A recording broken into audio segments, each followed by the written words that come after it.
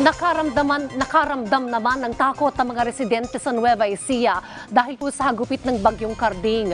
Si Mela Lesmora sa detalye. Live, Mela, kamusta ang sitwasyon dyan ngayon?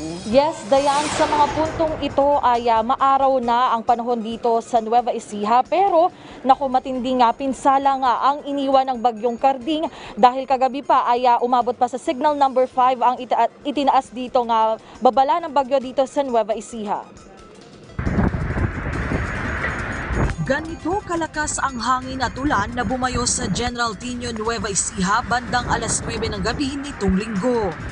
Sa tindi ng sama ng panahon, nabalot ng takot ang mga residente. Dito naman sa bayan ng Santa Rosa, napahinto na sa pagbiyahe ang mga sasakyan sa lakas ng hangin. Ang truck na ito, tinangay pa at tumagilid. Habang dito naman sa bayan ng Saragosa, sumabay pa sa sama ng panahon ang pagkislap-kislap ng mga linya ng kuryente, bagay na ikinabahala ng mga residente. Bagamat kinalaunan, agad din itong natugunan. Kwento ng isa sa mga nasalanta ng bagyo na si Gina, na taga rito naman sa Gapan City. Sa tanang buhay niya, ang bagyong karding na ang pinakamatinding kalamidad na naranasan niya. Ang nakakatakot po kasi sobrang lakas niya po talaga dahil sa tagal nitong puno na to, ah, ngayon lang siya natumba.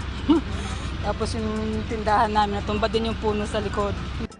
Bilang tugon sa sitwasyon, agad namang rumisponde ang mga otoridad at nagkasa ng rescue at clearing operations. Dayan mula naman sa signal number 5 kahapon ay ah, ngayon ay nasa signal number 2 at signal number 1 naman na lang ang ah, iba't ibang bahagi ng Nueva Ecija at sa mga puntong ito. Dayan no, ipapakita ko lang din yung ah, sitwasyon dito. Kung inyong makikita nako, ito yung ah, sitwasyon sa maraming panig ng Nueva Ecija. May mga nagbagsakang puno at ah, meron din na mga may mga nagbagsakang ah, poste ng kuryente at pinag-iingat ang mga otoridad na sinasabayan na rin yan ng ah, talagang ah, clearing operations at dayan no, kung makikita nyo sa aking likuran. May mga truck din. Yan ay yung mga na-stranded dahil nga hindi makadaan sa mga kalsada. At kabilang nga rin tayo sa mga na-stranded dito dayan. Pero nakikita naman natin yung mga efforts ng ating ah, mga otoridad.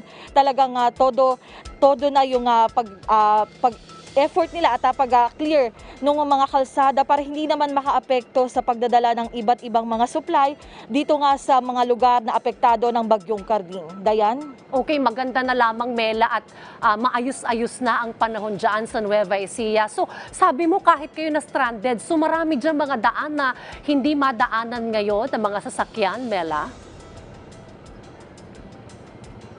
Yes, Dayan. Sa katunayan, gusto kasi rin nating ah, maabot yung mga talagang ah, tinamaan ng mata ng bagyo tulad na lamang ng Peñaranda at ah, General Tino dito sa Nueva Ecija. Pero Dayan, no, ang sitwasyon kasi dito talagang nakaham kagabi at hanggang kanina ng madaling araw ay nakahambalang yung mga poste ng kuryente at ah, as much as possible, pinapara na ng mga pulis yung mga dumadaang motorista kasi for safety rin naman para hindi na din maapektuhan at hindi na madagdagan yung mga ah, kumbagay posible maging ah, casualties dito nga nga bagyo. At sa ngayon nga Dayan, no, talaga nga nakikita natin tuloy-tuloy yung clearing operations kasi gusto nga ng mga otoridad kahit yung mga opisyal na gusto ding magpaabot ng tulong sa ating mga kababayan na apektado ng ah, bagyo ay ah, makarating din sa kanilang ah, paroroonan. Kaya din no, abangan din ng ating mga kababayan yung magiging update natin kasi Dayan no, ah, marami sa dito sa Nueva Ecija kung hindi man buong ah, probinsya ay wala ding supply ng kuryente kaya marami nag-aalala dun sa mga taga-ibang lugar na may mga kamag-anak dito. Kaya ihahatid nga natin